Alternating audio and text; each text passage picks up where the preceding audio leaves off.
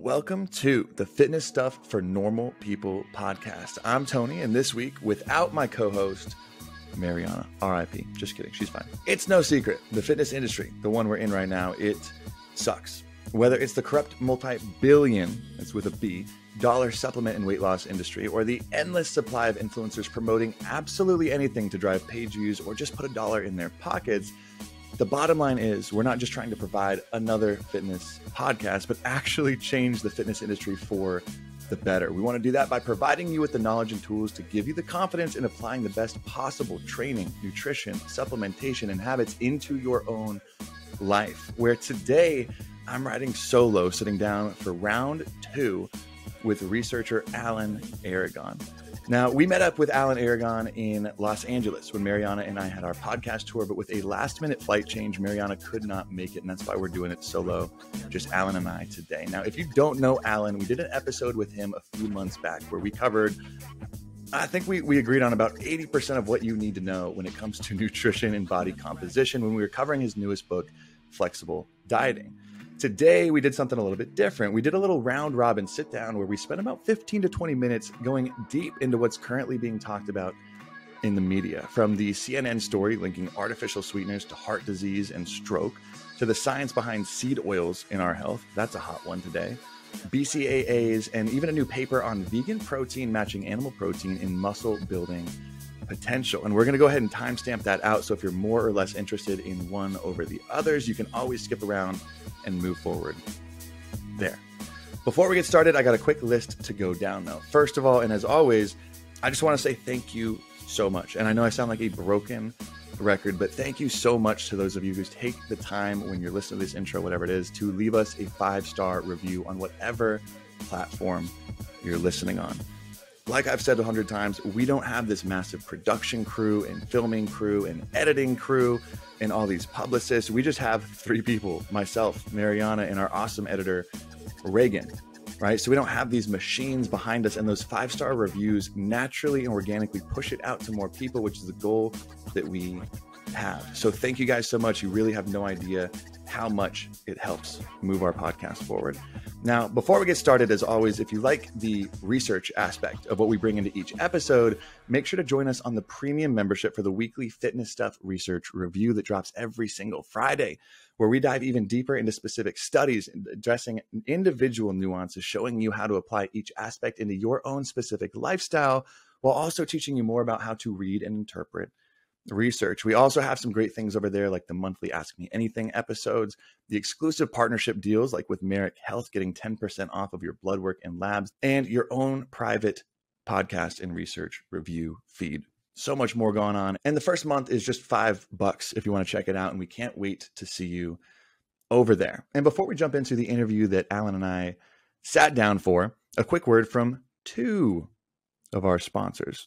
The people that have been listening for a while, that, that might sound new. That might sound different. As always, Legion Athletics, the people that we love and have been rocking with since day one, right? We only recommend and mention a select few companies that we know work with the right work ethics and our research and evidence based, and some that we've used on our own. Just to mention a few like Thorne, Legion, Now Supplements, and a few others. We wanted to give a special shout out to Legion, who is a proud sponsor of this podcasts. Now, other companies might be better at individual ingredient supplements. Like Thorne is phenomenal for those higher dosed individual ingredients, but Legion is the gold standard for sports supplementation. With all of their supplements third party tested for purity and effectiveness, and an entire scientific review board made up of MDs, PhDs, and other professionals vetting every single supplement, article, and podcast they produce. Now, I know I'm a big fan of their Whey Plus, which is a whey protein isolate meaning they isolate the protein from the lactose and the unwanted carbs and fats to give you the best digesting and highest quality of form protein you can find in a supplement. I know I don't shut up about the honey cereal, and I never will, because right now that is my go to. Along with their phenomenal pre workout. I know if you listen to the pre workout episodes, we tested all the top tiers.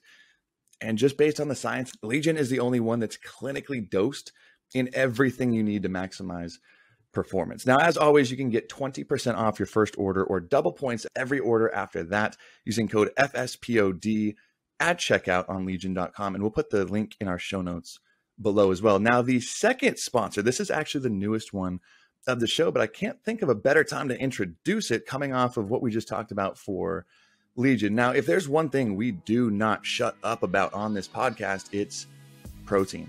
Because whatever your goal is, if it's to get stronger, if it's to get shredded, to lose fat, or even just live a higher quality and longer life, protein is usually going to be the center of your nutritional goals.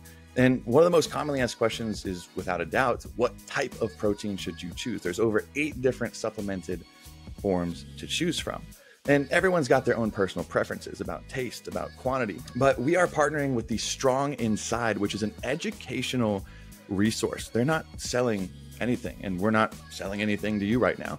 They just want to help educate about the proteins from milk, specifically from whey. And this is why we line up with them so well, is because they're education forward. They're not just doing anything for a buck. And this is really just because, if you did not know, whey protein is a protein derived from milk and tested as the highest quality form of protein because it's a complete protein, meaning it contains all nine essential amino acids and is absorbed more quickly than any other type of protein out there, something that you just don't get from a lot of plant based proteins or other forms. And it's not just found in your whey protein shakes like the Whey Plus by Legion, but also added into protein bars and shakes and different recipes. Now, if you get to the point where I think everyone gets to, where you realize you have to increase your protein intake to make whatever goal you have just easier, try and look for foods and supplements made with whey. And today, I think more and more people are looking at the science and taking evidence based approaches at finding the best protein for them. And the Strong Inside is just on a mission to educate about the benefits of complete proteins from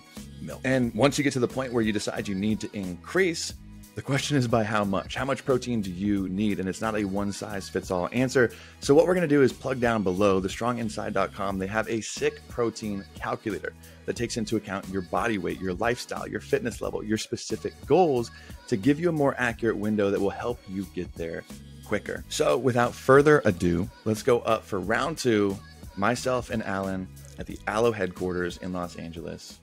Let's do it. Jumping in is always fun. So we'll just go ahead and get started. Our listeners know you. We were on, what did we calculate? Was it seven months ago? Seven. Seven. And both of our heads were like, oh, two or three months ago. Yeah. Seven months yeah. ago, Alan was on here. Seriously.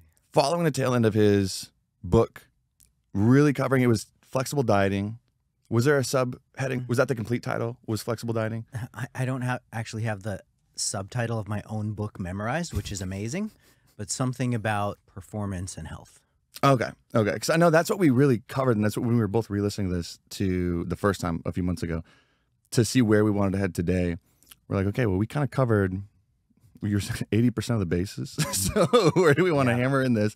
Yeah. But now we get to dive into a little bit more of the specifics, which I guess before I jump in, we've gained a lot of listeners over the time. To those who haven't listened to the first episode, go do it after this. But do you want to give like a little cliff note version of who who's Alan?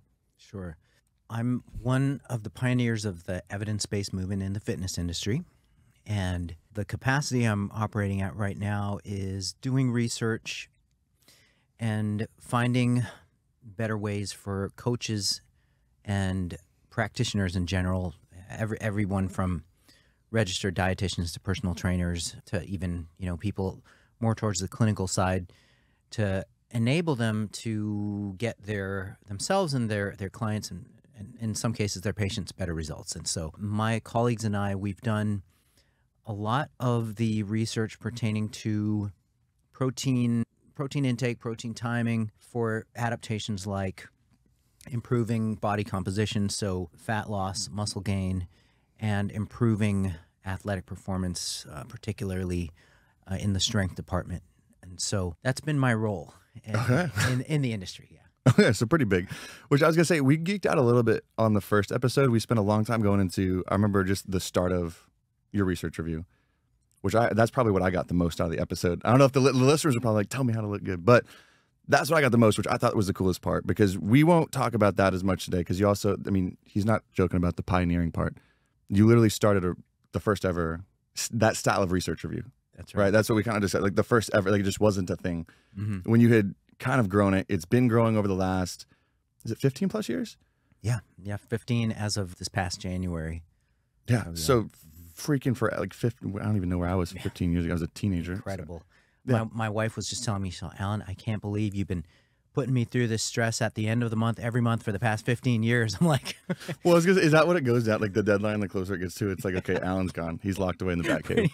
He's in the back cave, making sure everything's good. just being honest, yeah.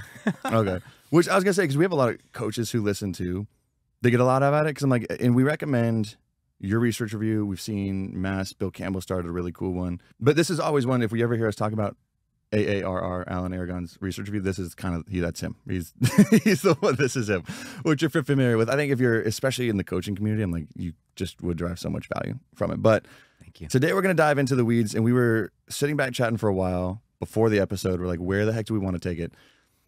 Talked about like a dozen different things. We're going to start somewhere and see where it goes from there. Starting with a study that just got published, what, two, less than two weeks ago? Yeah, On- just, just fresh out. Fr- yeah, on plant based versus carnivore protein intake, right? So plant based versus animal based Mhm. protein intake, which we on the show have talked about a handful of times. We've never gone super deep, deep into it. I know Mariana and I are talking about we're doing total like a total vegan diet review because she was actually vegan for three years a while back. So she's going to peel back the layer on like the nutrient deficiencies, the digestion issues, things like that that she had to deal with, but kind of go through and, and see it on both sides. But specifically, I think where people care about it is the protein. Now, I was reading through this paper, but I want to get a better take on yours.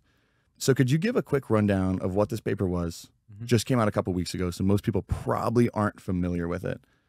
Give us a little Cliff Note version of the paper to start off, and then we can kind of dig peel back the layers of it. Sure. This was by Monteyne, if I'm pronouncing that right, and colleagues. And their goal was to compare a completely vegan diet Mm. with an omnivorous diet in subjects who were put through a progressive resistance training program. And they wanted to compare the adaptations to, to the training to see which protein was more anabolic and, and ergogenic. And so for the vegan group, they used a protein called the brand name is Quorn. I Mhm. believe it's by Marlow Foods, who funded the study Mm.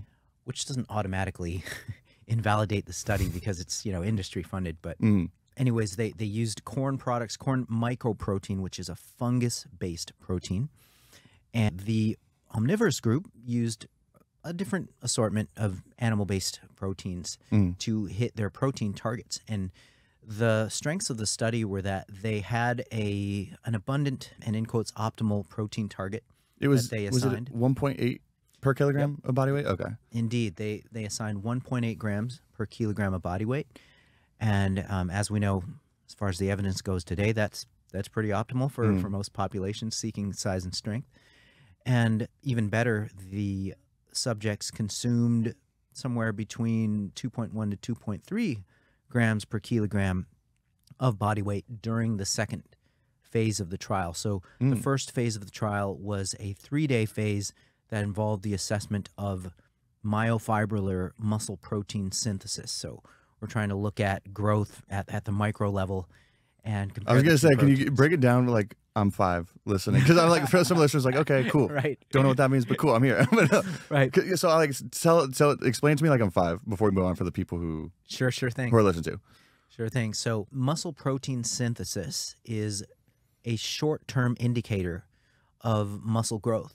And so, that is our go to metric to see what kind of a, a- an anabolic or growth response any given protocol or, or product in this case might have. Mm. And so, they measured muscle protein synthesis for three days using a pretty sophisticated technique called the, the deuterium oxide technique.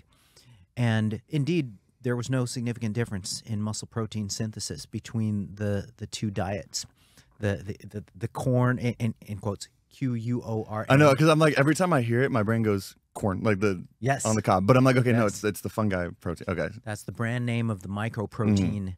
Uh, it's called Quorn with Okay. Q U O R N, and so there was there was no difference in muscle protein synthesis between the the vegan group and the omnivore group, and that that's really interesting in and of itself. yeah And and then there was a second phase of the study that was 10 weeks long that involved a progressive resistance training program. mm. And they put the subjects through this, and uh, the subjects ended up consuming almost a gram per pound of body weight in terms of uh, total daily protein dose. Mm. The unfortunate thing about this study is that it's unable to assess the capability of this this, parti- this particular incarnation of vegan dieting with mycoprotein supplementation. Mm.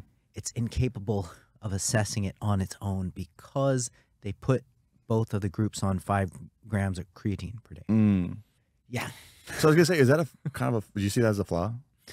I do. I Mhm. do. And the rationale for using creatine in both subjects, per the per the author's explanation, was to level the playing field. I was gonna. I was gonna say because they would obviously be consuming slightly less just through the plant based diet. Yeah, they absolutely would. Yeah. And so they wanted to level the playing field there. But here's my issue with that. Now we can only we can only extrapolate the results as far as people who are taking creatine Mm. along with whatever they're dieting on. And so we, we're leaving out a large segment of the general population and some of the sporting population who isn't using creatine Yeah. for one reason or another. Some people are involved with endurance sports where it messes up their power to weight ratio anyway. And it limits our generalizability of the results because they used creatine. And not only does it do that, but the effects of creatine when it works in the Mm. people for whom it works are very robust. And Mm. so you have a very large effect of creatine that could potentially mask the smaller effects of the differences in protein sources Yeah. of the diet. And it, it's pretty frustrating because the main aim of the study Yeah. was to compare vegan protein with animal based protein. And so when you throw creatine in the mix, you introduce not only the confounding potential of masking the effects of the protein, but you also introduce the confounding effects of differences in creatine response across individuals. Mm. So with, with creatine, there are responders and there are non responders. Mhm. So non responders, for various reasons, Mhm. you know, different fiber type distributions, different uh, different genetics, for various reasons, people. There are some people who just won't respond Yeah. to creatine supplementation, and the way that they assess that is that they will only increase by 10 millimoles per kilogram. But here's the thing: assessing that involves biopsy, and it, you know, it, it's a It just makes it so much more challenging. Because they? They didn't do. They didn't do that in this trial, did they? No, they didn't do it. They didn't do it. And what they could have done to, you know, avoid the, the invasiveness and the non-feasibility and the general pain in the butt of, of, of assessing that is they could have included a, a third group of subjects who were not on creatine. But then you have the issue of, okay, do we make this uh, third group of subjects on the uh, vegan diet or the omnivore diet? So in my opinion, they should have just left creatine out of the study. Yeah. Well, I was gonna say at first glance, their reasoning, it's like okay, I could kind of see that, but it's like, well, what's the goal in the first place of the study? Like, what's the goal? That doesn't make any sense anymore, right? Like, why would they? Right. And Okay. I, I've argued with, with people online about it, and they default to, well, I don't know what you're what you're complaining about, Alan. Everybody should be on creatine. Anyway. Okay, so well, it's like that's not the. Yeah, you're kind of covering up the problem. right. Exactly. And so that is my my big issue with that study. And and in addition to that, there was a study done uh, prior to this one by Hevia, Larraín, and colleagues, and this was done in 2021.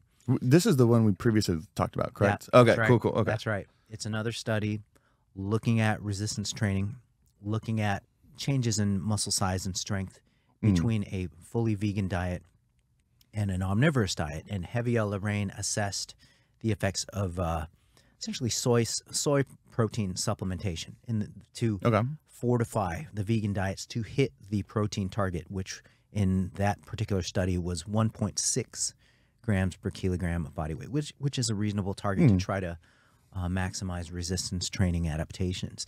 And so, like, like they did not in- include creatine, so great, kudos to them. step step one. but they used untrained subjects.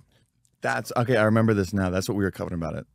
Yeah. So that is a limitation of the study. I even spoke with one of the authors who conceded that, yeah, that is a limitation of the Did they list that when they were going through limitations? I don't know. I don't know. Yeah, that that's the thing. It's like when you use untrained subjects to test either a diet protocol or a training protocol, then you have the problem of these very large uh, newbie gains or much larger than you would see with resistance trained subjects. Mhm. And so what happens is you get this masking effect of these robust newbie gains that happen regardless of potential differences or advantages in one protocol versus the other. And so, unfortunately, with this latest vegan versus omni, stu- study that we're talking about by Monteyne and colleagues, they didn't specifically recruit resistance trained subjects. The, the eligibility criteria for participating in the study was you had to have done six months of resistance training within the prior three years. Ooh. And so it's like, okay, that that just makes it too broad. Yeah, it could be any. Yeah, it could be anybody. You know, you're going to have a large degree of heterogeneity in training status across the individuals in the study. And that can just introduce some confounding variability between the groups. And it's like, oh gosh, why didn't they? Yeah, they missed the mark. Well, because I was like, why would they? They would have had to know that going into it, right? Yeah. Or do you think it was just a, a kind of a blind spot? I think they considered it, uh, but you know, a lot of times when you put studies together, you think of what's feasible and what's not, and you have time constraints. it's challenging. Yeah, it's really hard to like really put every piece piece of the puzzle into it. So the broader you make the eligibility criteria, the easier it is to recruit subjects. Just Yeah. find people who can actually participate in the study. Okay, so what do you take from the newer one that just had come out? Because I know that's what I think most. This is the I don't know if you agree with this, but the most common. I won't say attack, but the most common comment on the vegan versus meat based protein is protein quality. Mhm. Right, a gram of plant based protein is not the same as a gram of meat based protein. Mhm. So people are saying quality wise, it's not going to have the same effect. In this study, it looks like creatine might have screwed up. The, is, is that, did it really screw up like how we really could have seen where it stacks up in this scenario? That that's the problem. We'll never know. Okay, so I was like, did it really screw it up? Like it really? I was gonna say this seems like if they just would have left that piece out, it would have been a really cool piece of data to look at. It would have essentially been a replication of what Hevia Larraín saw prior to it, Mm. and we would be able to co- pretty confidently say in subjects who are not necessarily resistance trained, then plant protein in a fully vegan diet can be on par, can can be on the same playing field with an omnivorous diet Yeah. with respect to muscle size and strength gains. Mhm. But with creatine in the mix, the most we can say is okay, well, a vegan diet, particularly using mycoprotein Mm. with creatine, is on the same playing field as an omnivorous diet in maybe recreationally trained subjects at best. Okay, so it did. That kind of hurts. that It kind of hurts It to hear a little It bit. bums me out. How well uh, it could have been, and yeah, it's missed. Yeah. Which because I think we actually you had mentioned there were some pieces in the works. I think this might have been one of them. Correct. Last time, like there's a few more that are going to follow up, and then this is probably one that came out about it. This But I- this is the one that we were hoping for to kind of close the debate a little bit, but it doesn't. It just opens a whole new. Makes it more more challenging, more complex, not less complex. That's right. which is not what the goal probably was intended to be. But the conversation, because we we really broke down a lot of the, I think where most people see the get their ideas of plant based and vegan is Netflix documentaries. Yeah. Right. Game Changers. I think What the Health is the other one where it's almost hilarious when you break down the references they use and and the claims they make. It's just absolutely, it makes you laugh almost, and you realize, oh crap, this is how a lot of people consume nutrition education in this Mhm. country is through Yeah. Netflix documentaries. But a lot of people go plant based for good reasons and bad reasons, ethical, non ethical. Mhm. When it comes down to it, we know, I mean, just from your episode, we're big fans of it, like how important protein really is. And just not even just the aesthetic, right? Everyone wants to look jacked and cool. But from a longevity standpoint, a quality of life standpoint, like a health span, not just a lifespan. If someone's going vegan, or I even think a better idea is like to start introducing a little blend. It's not always black and white. You don't have to be 100% plant based or 100% the opposite. Would you say this is more almost comforting to people who are worried about the quality of their protein not being as high? Like if someone's really doing it for whatever reasons they really want to be more plant based, is it something they shouldn't worry as heavy heavily about the quality discussion anymore, or at least maybe if it's the right piece, or where would you say what would you say for them?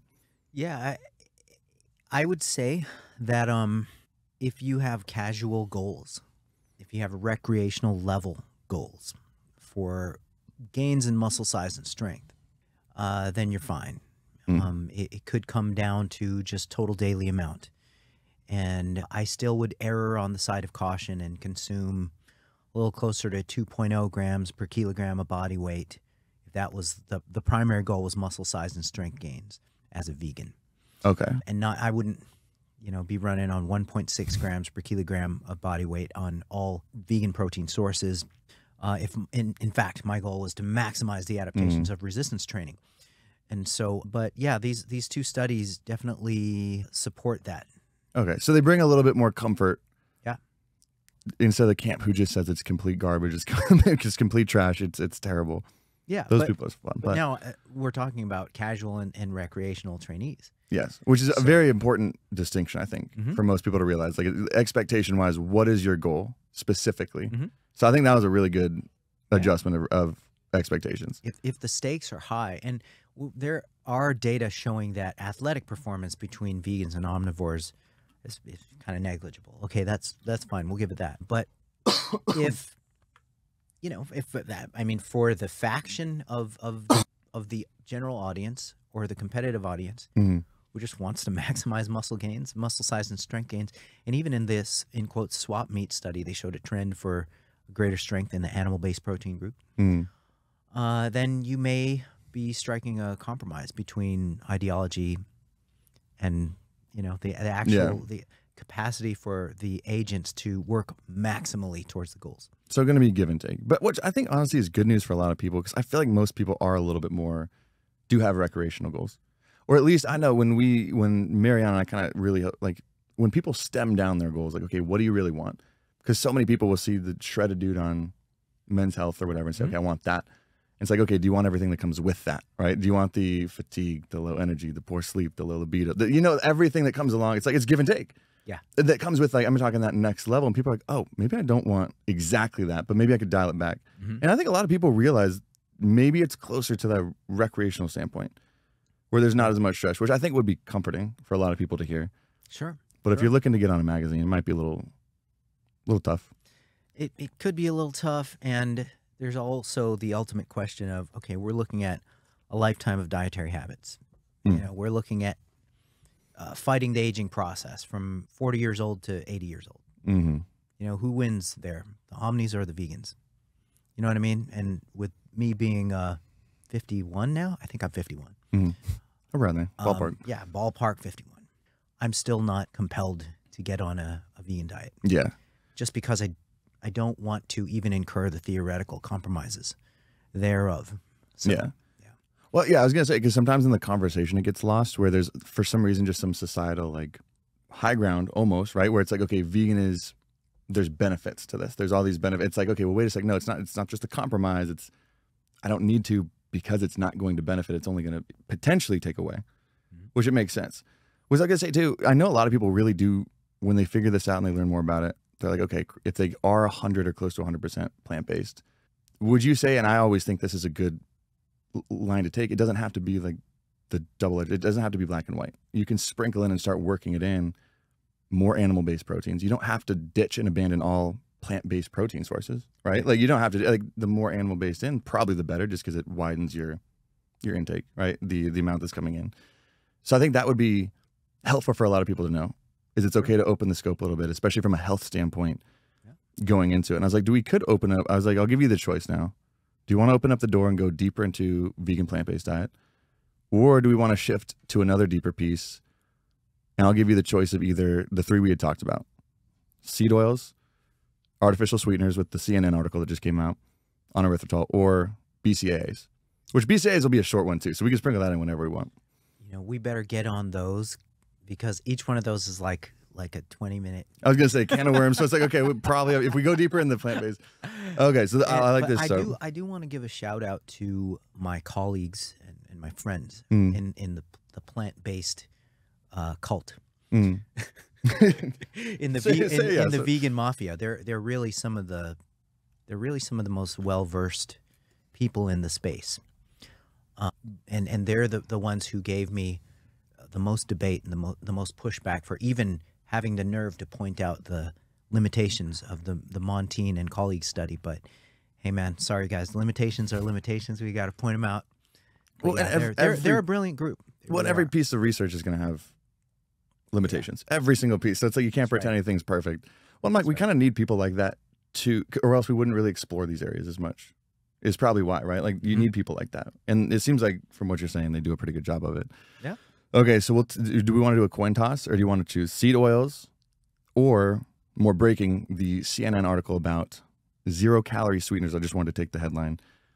Link to heart attack and stroke. Which one do you want to go with? The erythritol or Let, us start with the the sensationalism, and then we can go with the longer standing sensationalism after that of the the seed oil thing. Cool. Okay, so let's go there. So we'll start with breaking headlines, Yeah. CNN News, Mm, everyone's favorite. A sugar replacement called, this is just from their article I chose. I love their, Yeah. they word it so well. Replacement called erythritol. Mhm. Am I pronouncing that right? Yep. Okay, perfect. Used to add bulk or sweetened stevia, monk fruit, and keto reduced sugar products, has been linked to blood clotting, stroke, heart attack, and death, according to a new study. Okay, and this is the fun part because you hear that, and this is the conversation I was having with Mariana just this whole time too, that we've been up here. When people hear study or research, most people, and it's I'm even still learning and learning, but it's it's learning a new language, learning how to read research, Mhm. and that's something that most people don't have time to do. If you have a family, if it's easier because our lives are in health and fitness, so that's kind of everything that we do. But if you have a different job, a different life, you don't have time to start doing all this. When you see a study, especially on a news source, red flag goes off. Okay, artificial sweeteners are bad. I was like, did you have time to actually look at the piece of research that Yeah. they were using? Okay, because I was like, I would love to talk about that and really show people what's happening here, because and I'll even let you kind of go through it because they they sorted they, they cited one study, correct, about this. So that was the headline. What did the actual study look like from your point of view? So this study, published in Ma- Nature Medicine, Mhm. it leans very heavily on the association between blood erythritol levels and cardiac events and cardiac disease states. Mhm. And they did that by looking at populations. Uh, they looked at, uh, I believe, two, three, three, cohort, three or four cohorts, so three major cohorts, and they drew their conclusions based on not erythritol intake.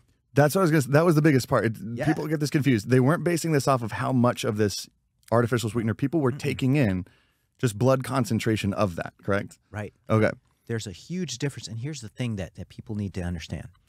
There's a huge difference between an association between dietary exposure or, or dietary intake of Mhm. a given agent like erythritol and disease states versus blood lipids of erythritol and disease states. And this is particularly important in the case of erythritol because erythritol, not only is it naturally occurring in various foods in nature and Mhm. fruits, you know, in, in glucose and fructose sources Mhm. in nature, but it's also produced endogenously. So Yeah. it's, it's produced within the body. Yeah. And so, in various disease states, cardiovascular disease states in particular, it's entirely possible, and it's actually been demonstrated that the body ramps up its erythritol Yeah. production in response to disrupted glucose metabolism Mhm. in uh, disease states that are essentially the product of massive excess of calories over a period of months or years or decades. And these cohorts that they examined were just very sick people, cardiovascularly. Mhm. Mhm. And they, lo and behold, happened to have elevated erythritol levels. What? But erythritol production within the body is a, a so-called er- erythritol is a downstream metabolite of glucose metabolism. So it's a product Okay. of glucose metabolism within the body. And uh, when you're cardiovascularly diseased, then there's something called the pentose phosphate pathway Mhm. and the activity of that is ramped up. It's just a this is a known thing. Mhm. And what gets spit out through the PPP pathway is erythritol. And so making the leap that these people with Small car- cardiac events, cardiovascular disease, they have high blood erythritol levels, therefore eating foods with erythritol in them is going to take your ass out Yeah. that is just an incredible, incredible leap of, of faith. And not only that, but we have data showing that erythritol in, in tightly controlled in studies that actually examine erythritol consumption mm. and the effects of them, the direct effects of them, show positive effects on mm. Mm. cardiovascular parameters. And and the, one in particular that sticks out is in a vulnerable population, type 2 diabetics, mm. who already have dysregulated glucose yeah. metabolism. Consumption of erythritol in these type 2 diabetics, yeah. it improved uh, in the short term in, in acute data, it improved endothelial function. So we're talking about the, the flexibility of the vascular yeah. tissues and the function of the vascular tissue. One of the first things that type 2 diabetes impacts. Endothelial function improved uh, acutely. And really? um, on a chronic basis of erythritol intake, aor- aortic stiffness decreased. okay, see that I didn't know about when I was breaking down. I had no freaking clue. Are you serious? Yeah, yeah, yeah. And and so we've got data that direct experimental, tightly controlled data that contradicts this wild leap of faith, honestly, that is being made by the uh, Nature Medicine study. And the platelet aggregation or the platelet a- activity that they got all up in arms about. I mean, this is stuff that's done in the test tube. This mm. is stuff that's done outside of the body, and this is testing markers of platelet aggregation. And it's like um, I, I forget which which research said this that like you can make anything you want happen outside of the body in a test tube. Seriously, yeah. what matters is comparing dietary exposure with the subsequent effects, and that absolutely was not done in this latest study that is just lighting up the, the media. I was going to say that first, the, the piece that you mentioned about type 2 diabetics, when they actually looked into it, I'm like, for some reason, I don't think, I think I missed that article on CNN that covered that. yeah. That paper oh, that yeah. came out. I think I missed that one yeah. for some reason. Because, but you know what I'm saying? Like, that's where people see study finds and it's like, okay, this is gospel. Whatever, whatever comes next mm-hmm. is gospel because a study supported it. It was on CNN, dude. That, that's what I'm saying. Not even just a random little person on Instagram or something like yeah. this. This is CNN doing this. And I forget if the, because I, I only read it when the first day came out. The CNN article hadn't mentioned hardly anything about the particular study, correct? They were just going more into the details the, of the what, yeah, the conclusions, which I'm like, it stinks to see because if you're, again, not in this industry, you shouldn't have to look so deep to to find like the true meaning of this kind of stuff, right? You, you shouldn't have to look that deep there is a potential negative consequence of, of these headlines and these, uh, you know, this stuff getting put out there virally in the mass media. And it's because there's a bunch of products that have erythritol as, as a sweetener or one of the sweeteners on the ingredient list. Mm. And these products are essentially designed to help people cut back on their added sugar yeah, intake. Beneficial for most people. And you know what?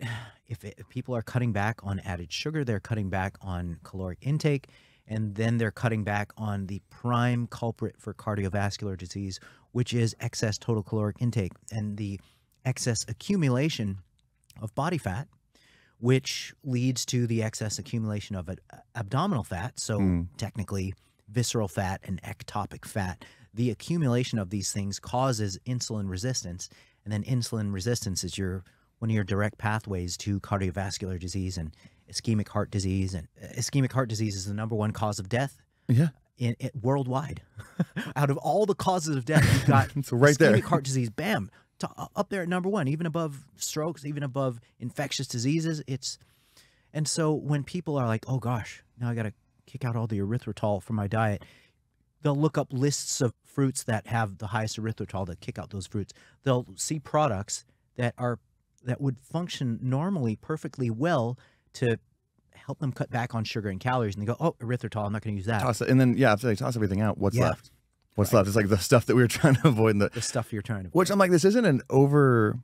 I don't think this is being overstated because I think people are like, okay, it's it's going to lead. It's like this is what the domino effect happens when you yeah. go down this route. Yeah.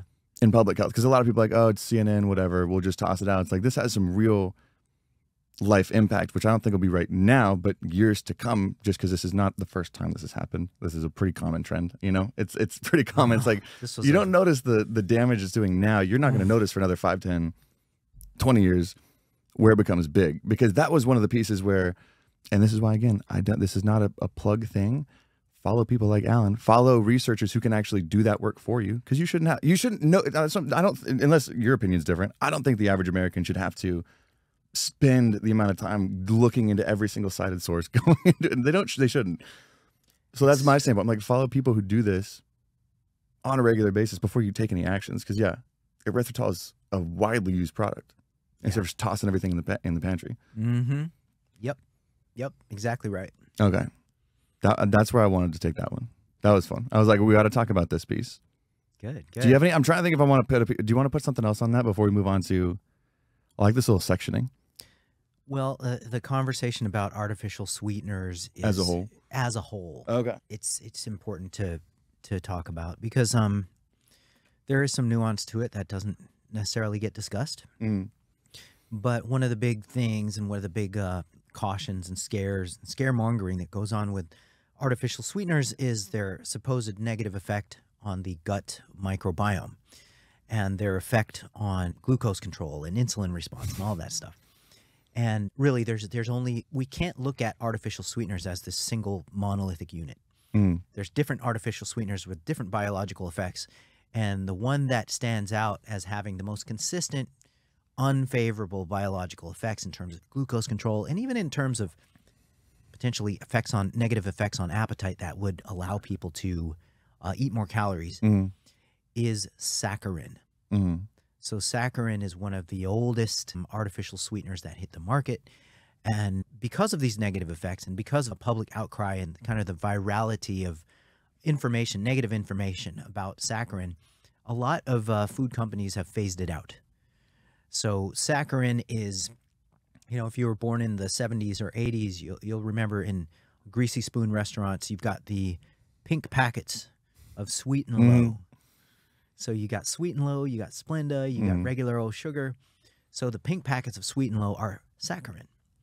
And uh, saccharin is most consistently shown to have these negative effects on just various biological parameters. So I, I wouldn't give my thumbs up to saccharin. Okay, so that's the one that's not getting the green card. Is a, is any of the data on saccharin? Is there an abundant amount of like translational data, like in humans, or is a lot of it in vivo in rodent studies? Is it, or is there is this the one that actually is starting to have a little bit more of an effect, like when we look at it in humans? It has a small amount in humans, but it's enough to give us some pause because it corroborates what we've seen in uh, rodents. Okay. On and but with both lines of research, you give people absurd doses of this stuff. Mm. So if somebody honestly just takes down one or two packets of, of sweet and low in their in their coffee at their favorite Denny's or whatever, Mhm. they don't really have anything. They have bigger problems to worry about. Yeah, it's like we're we're tripping over Yeah. these little pebbles right now. Right. If they're in IHOP, you know. Yeah. But if you're down at yeah, you got problems. you're down at a 12 pack of diet diet coke, even though it's more because I know aspartame is the one people worry about the most. I think. Yeah. From what what's in the media, it seems like aspartame for some reason that's got the red X on its back. Yeah, Yeah. That's in and, there. And you see that that the food manufacturers are responding to consumer uh, negativity, consumer resistance, as far Oh, as it's- aspartame goes, and you see it disappearing more and more from products. And what we're we're seeing kind of remaining, you got sucralose in there, you got stevia in there, Ace K is still in there, hmm but these things are are just minuscule factors in the diet compared to the more negative and more adverse thing that you could be doing, which is over consuming calories and a bunch of added sugars. Mm. So they're the far lesser of the two evils, and uh, the weight of the evidence would point them towards even just being completely neutral hmm Okay, so completely. in new- the big picture. okay, so overall, and I think that's always the part that should come after it is like, okay, like what are we really? There, there might be something here, but it's like, okay, in the grand scheme of things, like how big of a puzzle piece is this? Just one ki- ti- tiny corner piece, or is this half the puzzle? Which, like you're talking about, it's not. so, okay, so as a whole, And for weight loss in particular, mm, artificial sweeteners are effective. mm, That- that- that's the yeah, the grand scheme, the weight of the evidence shows that they are effective for weight loss. And you know what? Controlling body weight controls a constellation of negative health effects. And if that's the way to do it, you know, our little Frankenstein sugar compounds, if that's Mhm. the way we get there, then that's fine. You know, in this ideal utopian way, sure, you in, in, encourage people to just consume more plain water. yeah, yeah. we're we forgetting like, what else exists? Plain water, consume it. You know, let's let's let's endorse it right now. Big water guys. Maybe not the maybe not the the alkaline style. I- I'm not no, no I'm like the Hey, hey. water yes, but I'm like yeah I'm like oh crap this is the pH now they're using the pH This is a sales little, This is line. a little fancy, but The it- it- It alkaline. can be, it can be plain water. Yeah, just drink water. That's what we like. Diet Coke or Coke. There's other things. There's other things that exist. And if you want something sweet, have some fruit. You know, so that's kind of this utopian thing that Mm. not necessarily realistic. And if we need to use food technology to get to a place where we can control excess caloric intake, then hey, artificial sweeteners it is. If it ends up being one or two uh, diet drinks a day, fine. Better than having the full caloric versions of it. A couple extra hundred calories. Yep. Yeah, it, of regular, which kills me. Which up here, that conversation actually happens a lot. Los Angeles is a different world, is what I'm learning. It than the rest. It's a little Yes, separated. we're in the heart of LA. Yes. Okay. Because artificial. Because this is what I was like. That's one of those things that I feel like I I see people online extract and twist more than almost any other topic. Mm. Used to be I think carbs, but now I think I see this artificial sweetener topic where, and I want to get your take on this too because you read through research probably more than anyone I've talked to in, in my life, but.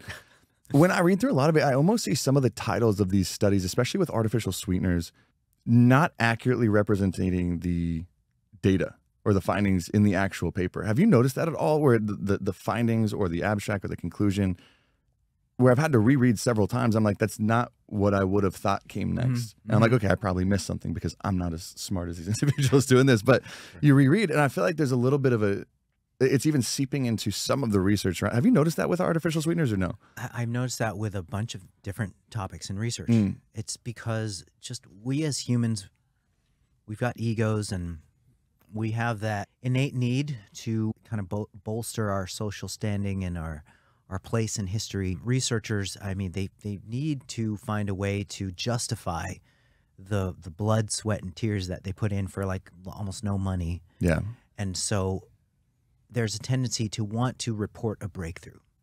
There's a tendency Oh, okay, to makes sense. want to report some novel findings that add meaningfully or even upset the, the whole paradigm, Mm. flip the paradigm, upset the apple cart Mm. uh, uh, of what we know. And so there's a tendency for researchers to kind of reach for that. And, and a lot of times they overreach, uh, and Okay. especially in terms of their interpretation of their results or their neglect for uh, naming off and discussing the limitations of their results. And so, yeah, researcher, they're, they're just people who want to, They're just people. Like they're they're not so much different than you or I. they kind of want the spotlight. Mhm. yeah. Yeah, which I'm like, it's always kind of because you can empathize with almost anybody. I think, right? Like any, anybody making any claim, any fi- anything, and so you can empathize a little bit. Where it's like, okay, if I was in that certain scenario, I, I haven't lived their life. Yeah. You you'd be prone to do something similar, probably to them too, right? Under mm-hmm. the certain circumstances. not saying it's right or wrong, but it's easy to kind of say it's because that makes a lot of sense, right? All this work, life's work, and it's like you just kind of want you want something, and I don't even think they probably don't even knowingly do it. Almost, Right. you know, it's it's Right. like they probably don't see it until years later. Like, oh crap, I I did that. It's this human need to want to have your name in the history books. Yeah. You know? Who doesn't want that? Yeah. Who doesn't want that? a little bit, a little bit. Okay, so that so that kind of hits that. Was that that was a good cherry on top? Are we ready to tackle the, big one? The seed oil? The seed oils, the big one. This is pro. Would you say this is the biggest one that you see? The seed oil conversation. It, it's the maybe it's the biggest fight on, on online. I mean, you got you have people just tearing each other apart over it. Yeah. And, and, and you know, you see enemies being made over this this seed oil topic. But there's a lot that's weaved into it because it gives people who take like a, a keto stance or a carnivore stance, it gives them a target to just vilify because hey, seeds are plants, right? Yeah. And so uh, it also uh, it's an interesting story that's easy to to get entertained by the sensationalism behind it. Because like imagine if we just found the smoking gun that's ruining the health that we've been looking for for decades. ruining the health of the Western world. Let's not make it complicated and say it's multifactorial. Mm. yeah. No, Let's- screw that. That can't be right. let's not talk about the hyper palatability of highly engineered, ultra processed foods that combine refined carbohydrates and fats. Couldn't be that. And, Couldn't be. You know, and, and are perfectly flavored and, and are just highly just delicious um, creations, right? Engineered foods. Let's think of something much more simple. How about seed oils? Mm. And the irony of that is you are hard pressed to. Okay, I'll, I'll take a couple steps back. The people who blame seed oils for the ills of humanity are relying on mechanistic data. Mhm. Uh, they're relying on rodent data, if, if at best, Mhm. and they're ignoring human health outcome data. Okay. And that is the probably the biggest issue and the biggest uh, knock against the, the people who are scaremongering against seed oils. Mm. And you can do this any day of the week. You can say, all right, so number one, let, let's assume that the different species of plants in nature have different biological effects. Are you okay with that? Yeah, okay. Okay, cool.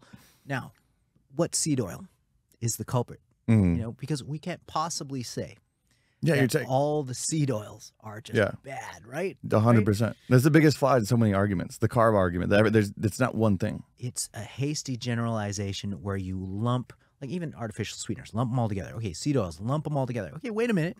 Let's talk about this in an organized way, Mm. right? So, which seed oil is the bad guy? Mhm. Or name one of them that's the bad guy. Yeah. Canola oil. Okay, cool. Let's let's look at the canola oil Mm. research, and let's do even better. Let's look at the human research uh, uh, in the effects of canola oil, Mm. and let's try to find unfavorable or adverse effects, or just clinically negative, like bad stuff. Mm. Time goes by, PubMeds get flown around. Oh darn, we, we just can't can't really find anything. In fact, ninety plus percent of the data is positive Mm. in terms of uh, both intermediate effects and like you know blood markers of health Mm. and hard endpoints, hard outcomes too, like disease endpoints. All of it's positive with respect to canola oil. Okay, from the controlled stuff to the observational stuff, all in humans. Oh gosh, well, with any other compound, we would have to take a look at mechanistic data that potentially uh, indicts the the substance or the agent in question, Mm. and we'd have to kind of go, okay, well, that doesn't apply here. But people are unwilling to face the human data showing Yeah. positive health effects from canola oil, and some people will even claim canola oil it's you know it it'll cause weight gain and you know it'll cause insulin resistance and all this stuff. Okay, well let's take a look at that. Yeah. Show me the. show- me where, please. Show Oh, me that- where. Okay, there's a meta-analysis showing that canola oil actually biases the results towards weight loss. So there's a trend towards weight loss. Not that one. No, in- not, in not that people- one. and this is a multi randomized control meta analysis. And so the best that we can say with the seed oil thing is that you can't take a, a, a an isolated mechanism, an isolated biochemical process, and make the leap that because seed oils contain this particular chemical, and we're talking about omega 6 Mhm. fatty acids, you can't simply ha- take this reductionistic view and make these leaps of faith Mm. that what's going to happen at the human disease level is the same thing as saying omega 6 fatty acids are a precursor to arachidonic acid, which sets off the inflammatory cascade. We can't say that because guess what? We've got foods that don't just have omega 6 fatty acids, we Mhm. have a multitude of other compounds. And we'll take nuts, for example. Try to find research showing negative health outcomes of nut intake. I dare Be you looking for a little, a little longer. nuts are mostly the, the predominant i mean they're a mix of fatty acids Mm. but most if not all of the widely studied nuts like walnuts um, almonds pecans etc on down the line mixed nuts they're high in omega-6 fatty acids however you only see favorable effects on cardiometabolic parameters Yeah. and honestly same thing with canola oil and so what people are looking at they're taking the old trans fatty acid um, situation Mm. where uh, like partially hydrogenated vegetable oils have been banned since I think 2015 Mm. uh, because when you partially hydrogenate vegetable oil, you create trans fatty acids, which uh, cause adverse changes in blood lipid profile.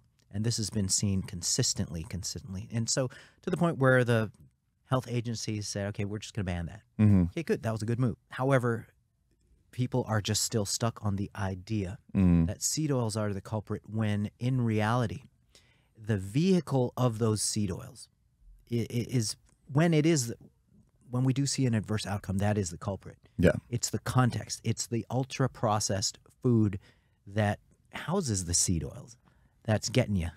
It's Yeah. not specifically canola oil or specifically, you know, sesame oil. Oh my God, speaking of sesame oil, do a PubMed search on the health effects of sesame oil. Try to find something negative. Mhm. It's all positive. Yeah. Well, the A- Asian folks knew that for the beginning of recording. Like looking back and we're like, what are y'all still talking this about? What are you still talking about this for? Is he okay? So, but I'm like, okay, that problem seems to be the one that almost every single one of these trends that pops up runs into, is a mechanism jumping leaps and bounds to mm-hmm. come to whatever outcome it is, and that's what we try and hammer so hard on all these. But I'm like, it- it- look at every single like the artificial sweetener conversation, the plant-based conversation, like the the whole hate campaign on red meat. Right, it's the same thing where it's like, okay, when you compare plant-based versus red meat in the American diet, it's like, well, let's look at the American diet first. It's not there. Okay, so I was I was excited because I was kind of coming into this more as a student on the seed oil conversation because like I was telling you, I'm like, this isn't in my circle of competence. I really don't know specifics of it, but I was like, it seems like what I was telling you before. My stance seems semi close to it, right? It's not the individual piece that's the problem. It's that the diet rich in these things is also going to be rich in everything else that's going to be potentially inflicting this pain right Yeah. like that's it's kind of but that's the whole thing and it's and people try and point these these dangers and that's why it's so easy i think for the public to get zoomed in on whatever small thing is the next problem if it is mm-hmm. artificial sweeteners if it's seed oils it's easy to get so zoomed in on it but it's like when you really it's hard to take a step back and realize okay wait a second wait a second wait a second like everything else going on matters Mhm. a lot everything else going on matters a lot so i think that's a conversation with seed oils it's just one of those things. Would you tell most people again? Is it one of those things where you? I think in the first conversation we had, we kind of tried to categorize things as like, okay, what should we, we like? What should we really give our attention to, and what should we not? What's not a waste of? Would this be more on the other side, like what not to give your attention to? Yeah. Not saying there's nothing that like the like the saccharin conversation. Mhm. Not that there's nothing there, but it's like, is it worth your attention if you're really truly concerned about your health, your performance, your aesthetic, anything else? Would you say it's not worth your attention or energy right now? it's not a concern. Most oils out there that you could run into just living life, going out to eat, Mm. are not going to be great oils. They're used over and over in restaurants. They refry and they just, you know, you're eating some low quality stuff. If you proactively, like at home, if you prepare your food, if you use oils that are known to consistently have positive health effects, like extra virgin olive oil, Mm. then that would be a better practical uh, recommendation or a better just purposeful thing to do Mm. rather than just being paranoid of seed oils for no reason.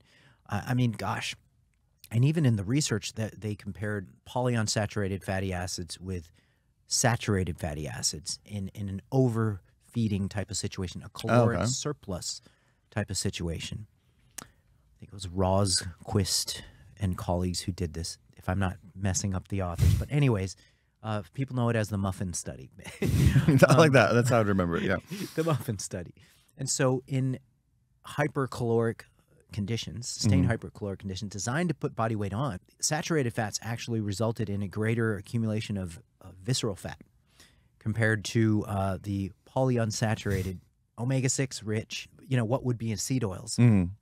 Uh, that, that resulted in actually more lean body mass gain and, and significantly less uh, adverse type of uh, fat deposition compared to the saturated fat group.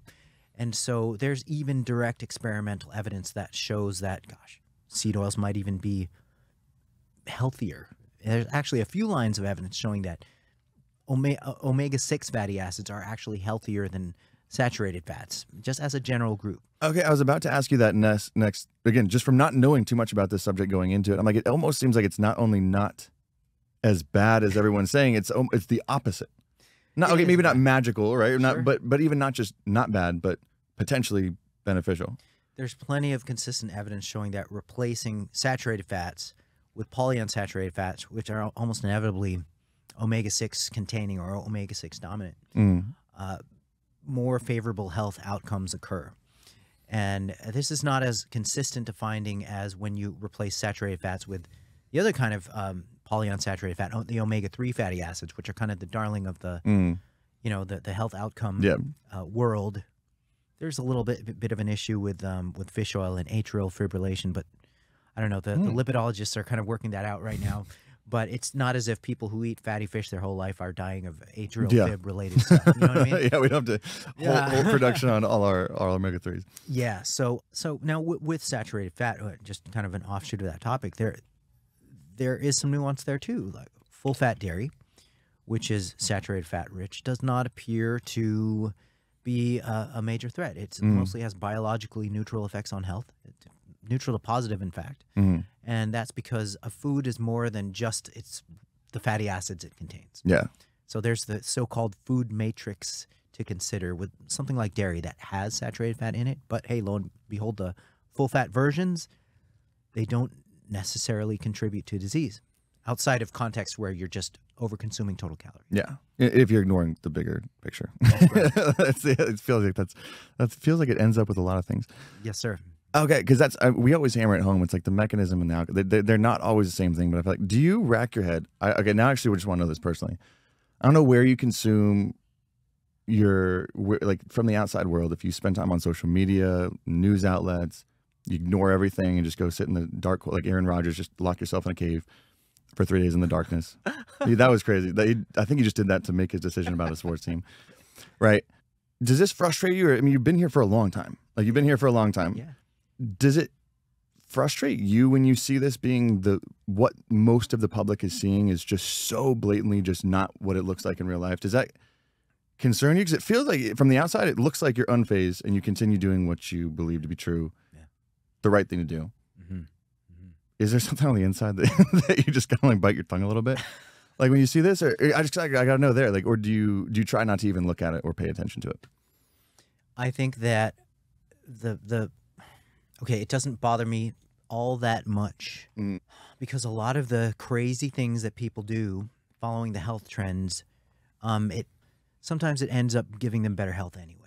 So, Mm. like if somebody is pa- absolutely paranoid of seed oils, they'll end up eating less calories. overall. They'll Mhm. cut out all the foods that Yeah. they find may, may have some omega six containing oils. They'll cut it out, uh, and they'll get healthier anyway. mm. Uh, they'll do it in an ignorant and diluted way, but they'll get healthier healthier anyway. And yeah I think that and that's the goal um, right Those are the the different roads to Rome. I I think that uh, the bigger problem is when people start vilifying foods that have a really good track record for causing very favorable clinical effects and or performance effects and they start Mm. vilifying them and saying you got to avoid that you got to avoid carbs or you got to Mhm. avoid fruits so you got to avoid you know where Yeah. taking those things away really could have some yeah down and the road im- down, implications. down the road um, negative health impacts yeah Okay, that makes a little bit of sense. Which I know we had. I think it was. I think it was actually with Mike. With Mike on the show too. We are kind of talking about it, where it's you know we have the conversation. I think just the the vehicles that you use to get to successful, like to, to achieve whatever health. And it's like if you go to someone who just lost hundred pounds on keto, Mhm. and you try and change their mind by showing them a, a systematic or whatever, you shove it in their face. That's not going to change their mind. Yeah. That's, they just lost hundred. They've tried every diet in the world. Nothing's worked. They just lost hundred pounds on keto. Oh, look at my. Re-. No one cares. Like that. That's not going to Yeah. care. But Mhm. at the same way, it's like, yeah, what what do you define as like mission accomplished? A healthier planet, healthier. It's like yes, it's like okay, or is everyone healthier? Oh yeah, it's like okay, well maybe I don't need to be as harsh. You don't need to completely get them to jump to your circle, but maybe just widen the circle a little bit. You know, sure let everyone in a little bit, which I think is hindsight always kind of nice to keep in track. Which might be a good segue. Talking about Mike because we talked about this one. I don't. I, I just plug Alan to follow just because he's hilarious. The BCA conversation yeah which we talked about a lot. We could have segued this from the pro, the, the plant based protein Mhm. Conversation, but it's never a bad place to put it in because people, for some reason, I've been talking about it for years. Everyone seems to have been talking about it for years, but it's still one of the hottest selling supplements on the market. But the supplement company, as we know, is not the most trustworthy people to listen to. Which okay, which total sidetrack rabbit hole.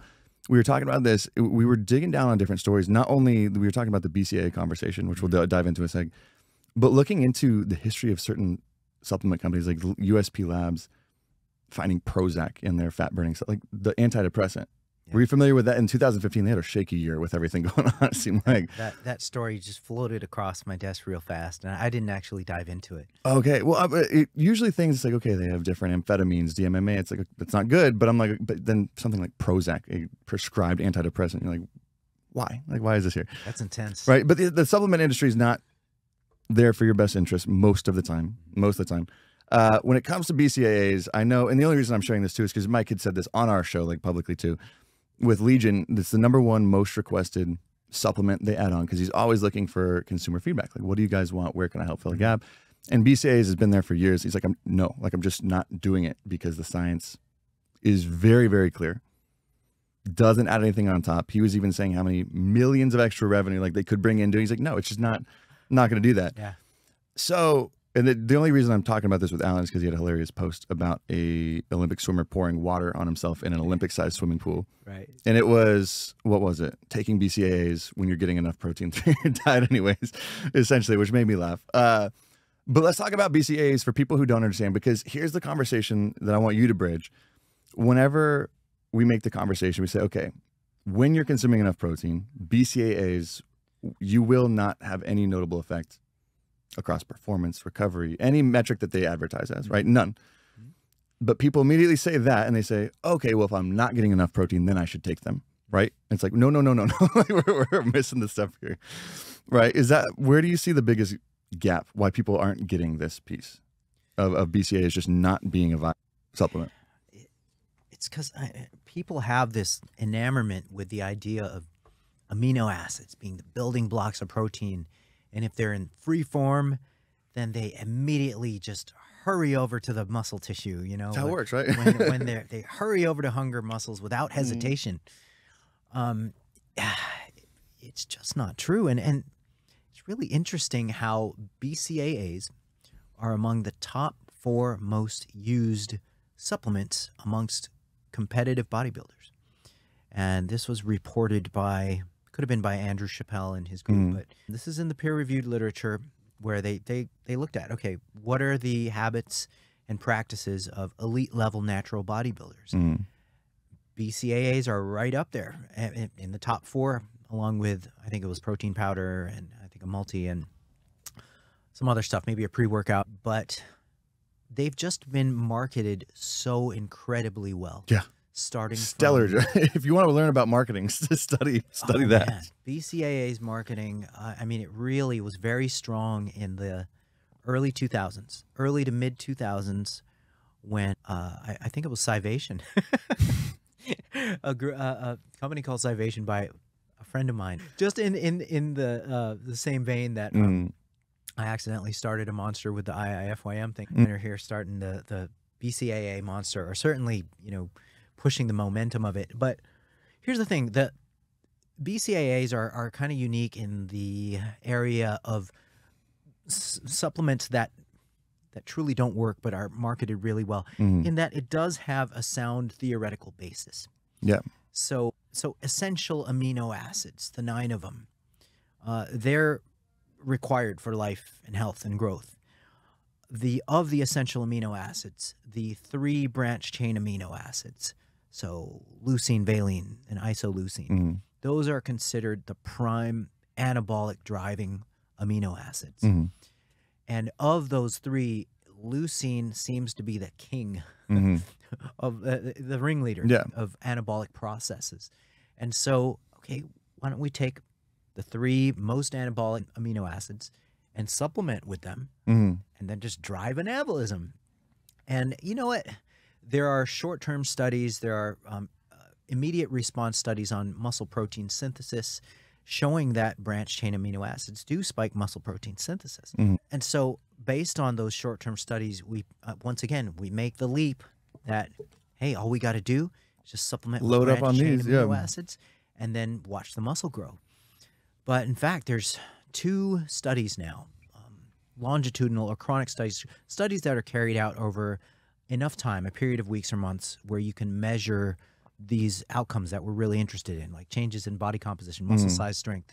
No effect of um, branch chain amino acid supplementation when your total daily protein intake is 1.6 grams per kilogram and up. Mhm. And it kind of makes sense because when you take a look at the dietary protein sources, they're somewhere between, on the low end, like 15%, uh, to the high end, like 25, 26% Mhm. branched chain amino acids. So, I mean, whey would be at the top there. I was gonna say, yeah. 26% of whey is branched chain amino acids. But all of the other protein sources in the diet, particularly the animal sources, with the exception of something like uh, gelatin, you know, Okay.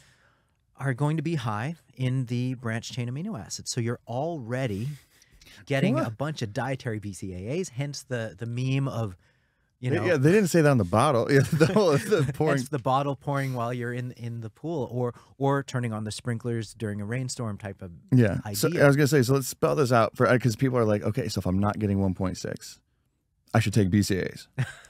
no. What should you do if you're not getting 1.6 grams? if you're not getting 1.6 and you're insisting on taking a supplement to cover that gap, you're much better off not not even taking a, a full spectrum um, essential amino acid, but a high quality intact protein uh, like like whey. It's going to be less expensive. I was gonna say, even just cost per ratio, it's insane. It's you're- insane. You're getting branch chains plus with whey. You're getting branch chains and EAAs plus a bunch of other cofactors that will contribute to growth and health and immunity. And, uh, you know, it, it's just, it's a no brainer. Okay. I wanted to spell that out clear because I'm like, people are like, okay, but that's what that's what makes more sense. And the cost ratio, the amino supplements now are like 40, 50, 60 dollars. It's outrageous. I mean, you've do, I've been doing this for over 15 years. Yeah. How often does something come across your desk that really grabs your attention and you say, okay, this is going to be where my time goes this month? Yeah. It's naturally ends up being a, almost a selfish thing. like, what's going to benefit me in my life? I love it.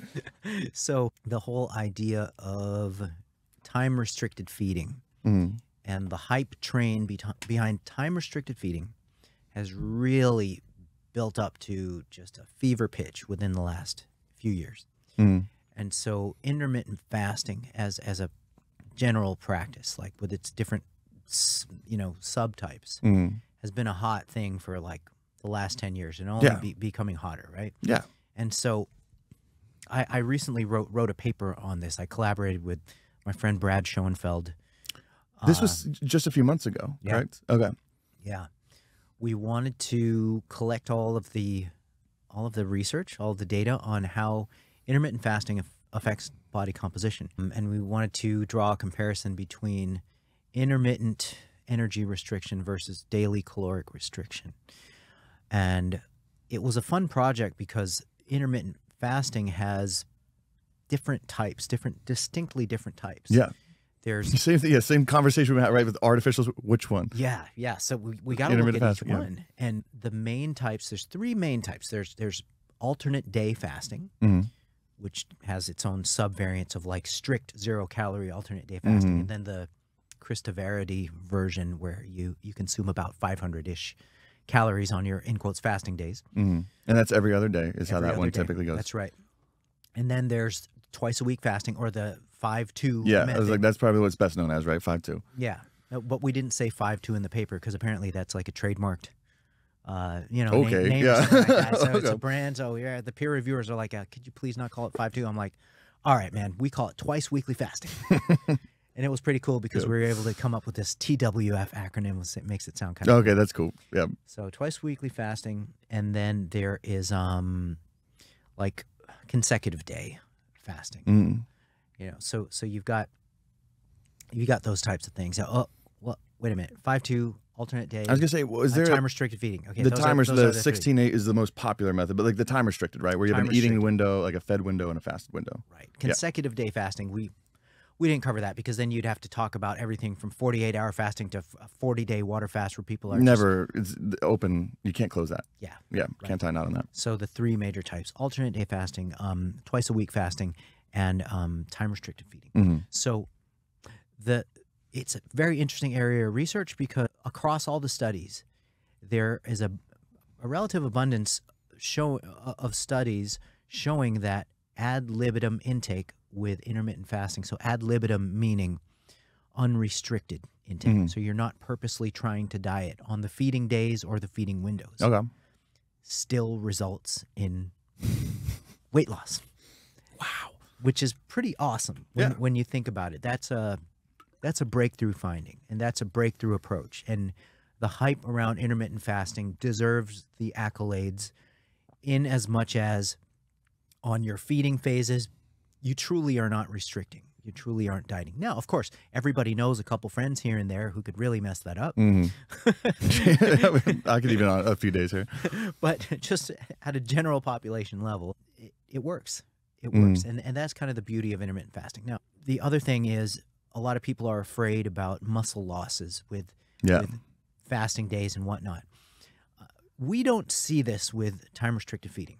Okay, that's what I was going to ask you specifically because I'm like I've seen this and that's the biggest threat I think a lot of people see to it. It's like okay for weight loss, awesome. What about the muscle bees? Mm-hmm. So time restricted feeding, you're not seeing it as much, but yeah, tell me what happens when you open that window more and Yeah. more.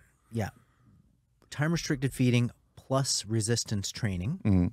has been a special area where we not only do not see this sort of threat to lean body mass loss, but we see superior effects in, in fat loss Okay, in the time restricted feeding plus resistance training group compared to the, the conventional linear dieting group. okay, Uh, Grant Tinsley and his group uh, have done a lot of that research, which is really interesting and really eye opening. Now, there is research on lean subjects who are not resistance training and doing alternate day fasting, okay. and they lost more lean body mass than subjects who were doing daily caloric restriction.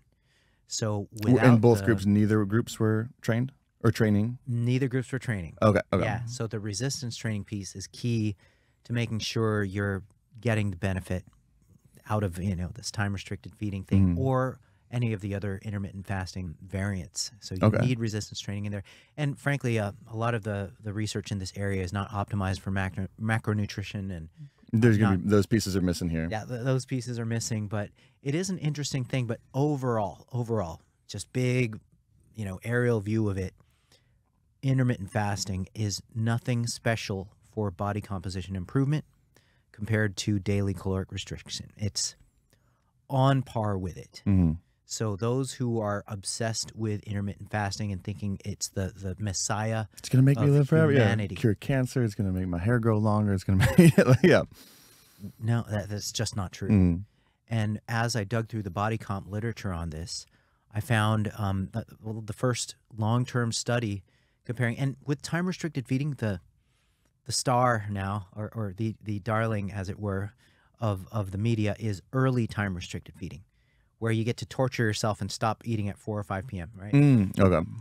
So that's supposed to be the, the ticket. Well, this long term study by Liu and colleagues, L I U, drew out a time restricted feeding group where they ate from 8 to 4, compared it with um, a conventional dieting group that ate from 8 to 8.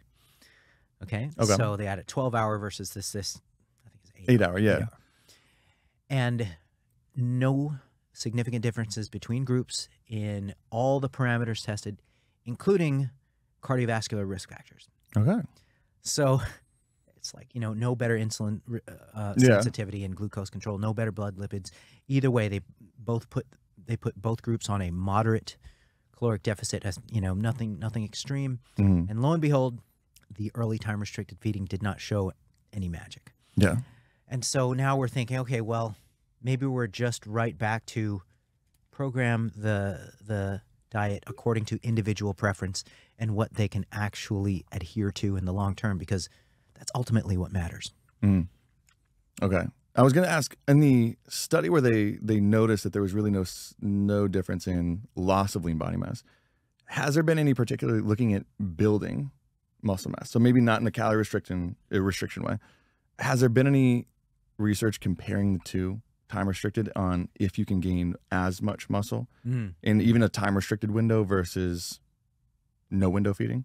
Yeah, not yet because Okay. what they would have to make that a hyper caloric condition where by the end of the week they netted Yeah, I was gonna say it'd be so- difficult, but I was like, I wonder if there's something there because that's the again, it's in my head the mechanism piece Mhm. that would make sense, but I'd always wonder how that would play out when you actually look Yeah. at it. You know? I mean, in theory, uh, you're just compromising your ability to uh, to gain muscle over Mm. time with an intermittent type of uh, restriction model. Even time restricted, in theory. Uh, now, the body is really resistant. You can it can grow muscle on uh, any kind of wacky program you throw at it, but growing it optimally Yeah. is probably going to involve optimizing rates of muscle protein synthesis every day hmm and then those those micro anabolic events if they're maximized over the course of weeks and months, then you'll probably end up with more muscle if seems, you're not compromising MPS. yeah, and I was like, it almost seems like it's this. It comes back to the conversation of casual goals versus what level do you really want to Yeah. take it to, right? That's what Right. kind of that's what it sounds like at least a little bit. I was like, is that what's kind of grabbing you more? Is like the the time restricted feeding windows and the everything that keeps coming out. Usually when that comes across, does that grab your attention a little bit more? I mean, it does. Be, being in the, the the bro meathead, um, hmm you know, category. Yeah, of course. I know. That's why I'm like, let me ask about this muscle. I got. That's what I. that's what I want to know. You know, be, being a bro, yeah, absolutely it does. And and so we generally, um, you know, taking a muscle centric approach to longevity, you know, Mm. to health, uh, things that compromise muscle protein status or things that compromise lean body mass retention are always going to be kind of looked at with sideways and cautiously. Mm, okay. And let me, I was going to say this because with the SD card running out and Tony being a terrible savvy, I do want to ask you this question Sure. Because this has fascinated me as I've grown because I'm always learning new things about myself. Just in going through this, probably like through your career, you've probably learned a lot of different things about yourself. I've noticed the the most I've ever learned about subjects, the like the, the quickest speed that I've learned um, something new is when I've had to teach it to somebody else. So, for example, putting the podcast episode we did a while ago, spending the time to dig deep, go through the outline, the research on vitamin D. I've never learned as much about that subject versus when I had to actually go through it as I was going to relay that information. Your book that you came out with last year, Flexible Dieting, was later in your career, right? Like much, Yeah. much later in your career. Yeah. Did you go through any of that writing that book where you learned more than you had at other specific points in your career about any certain topic? Yeah. Yeah. Yeah. I'm trying to think of which one it would be. Well, I was gonna say because it is it, your your book like it was it was a perfect playbook to sit, to really kind of show where people's attention should be going. Mhm. So it'd be difficult, but that's what you learn so much in how you when you learn someone else is going to be reading it. You're like, okay, I have to say this in a certain way, right? Especially, I mean, especially with what you're used to in like the research review. It's like, okay, the book. Well, because I was gonna say, who is your intended reader for the book? Did you have someone in mind, like this is the person who I want to read this book when you're writing it, or did was it more just I want to get this information? Yeah. How that kind of went about? I, I wanted okay th- my target was the person who says hey alan what is the nutrition book that's like evidence-based that would teach me what i need to know as a as a fitness coach or a trainer Mm, or um or a dietitian working with the healthy population mhm. like what what what book- Okay. what's the go-to book for that and my background is is basically uh non-clinical Yeah.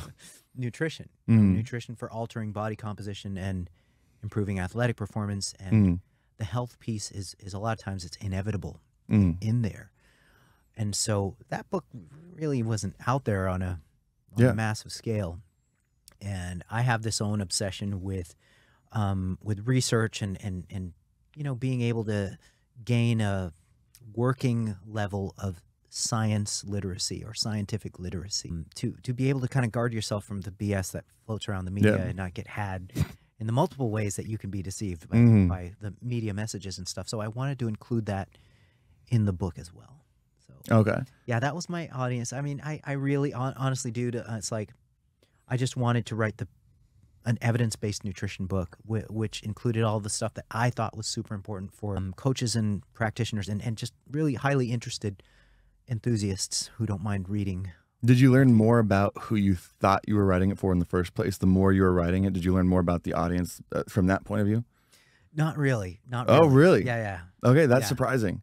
Okay, and any of the topics in the books it was, it was the title of the book was flexible dieting, right? So really breaking down all the ends there. Was there anything that you changed your opinion on pre to post writing that book, or did not much change? A couple, couple, couple little things.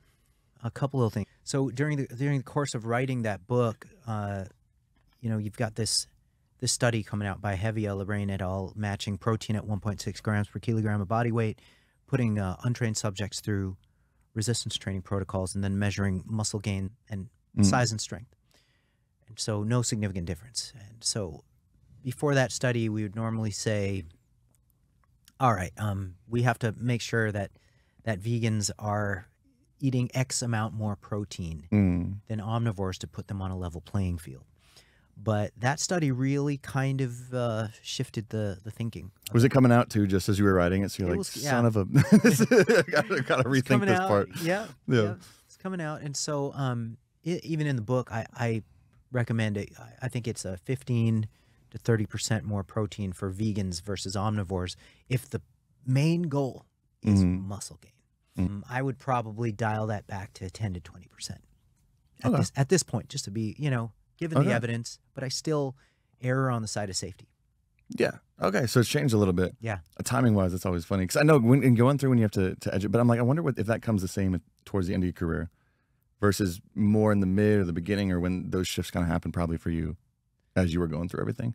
Which I'm sure Yeah. going through the starting your your business with the research review, Mhm. I'm like, I bet that learning curve was steep. that was Yeah, for going sure, up, right? man. That was always big. Uh, okay. So I think tying a knot there. I'm not gonna lie. I think I had more fun on this one, but that also might be because you're sitting right next to me. So I, was, I don't know if that's a little biased or not. Uh, but I think we should probably wrap it up there. But I was gonna say, okay, and I don't know if you like, like your best representation of you. I think social media is great. Your research review, I can't speak highly enough about. But I'm like, even the book. We were talking about this before we even started recording or anything like that.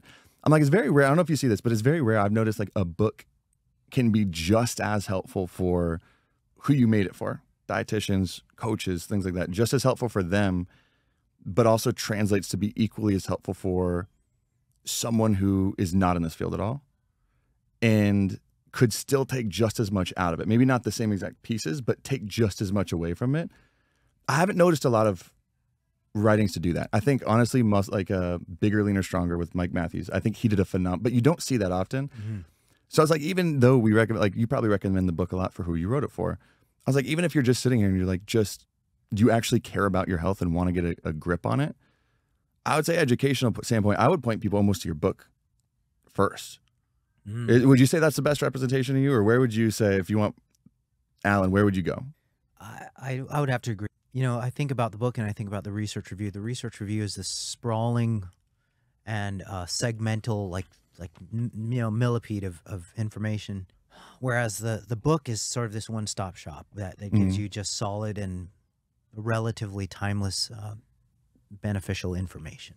Mhm. Like a lot of the stuff in the book is not really going to change much. I mean, No. because uh, it's stuff that has worked in my personal practice uh, since 1990, and it's it does have everything current with the research literature that a lot of it moves at a slow pace.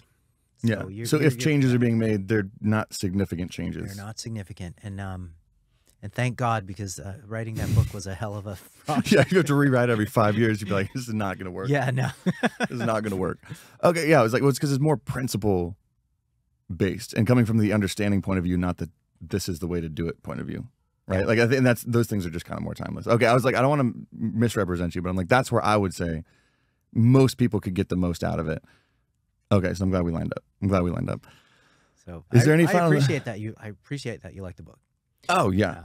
Well, I mean, I wish, I, like, I think I was telling you, I think even just emailing before we even- even talked for the first time, I was like, this is just, I'm like, I wish it was required by coaches or by these things, like as a just source of education before getting into the, like, I wish it was a requirement kind of a thing just because of what was provided compared to what else is provided out there. I'm like, and I think that's what we, I think that was even before we talked, right?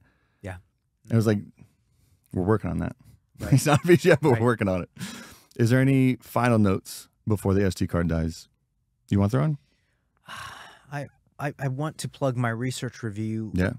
because it captures what I'm interested in at the moment during the month. Mm.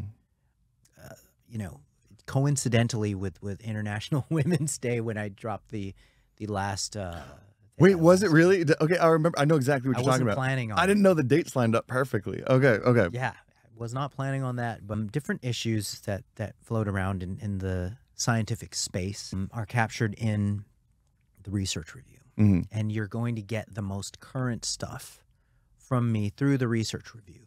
Okay, So I think that's what the I, w- I would point people towards that as well. towards that. Yeah. Yeah, yeah. For especially for people who are not prone to reading a 300 page book, you know. Excellent point. And Yeah. so you'll get little pieces of it um, monthly about what what's going on. I'm not so big of a star that I don't answer emails and, and Mm. DMs and stuff. And so He answered my email for that was the first. Luckily, I think I is that how I first. I think I first. Re, I, no, I think I, it was a DM or something. it was a DM. Yeah. It was a DM, and you waited. I made you wait months, but yeah, Well, and, na- is. and now look at him. He's in this entire this huge building. He's no, right. No, I, I totally appreciate it, and I totally appreciate everybody listening to this Mm. podcast or watching this podcast. And I appreciate you and the way that you're pushing the field forward. It's always it's always great to see the good guys doing good things. So We try, try our best. Yeah. Us and Mariana, who's here in spirit, not dead. She's in the sky right now in a plane, but here in spirit. We miss you, Mariana. Okay, perfect. I love it. I think it's a perfect, perfect cut.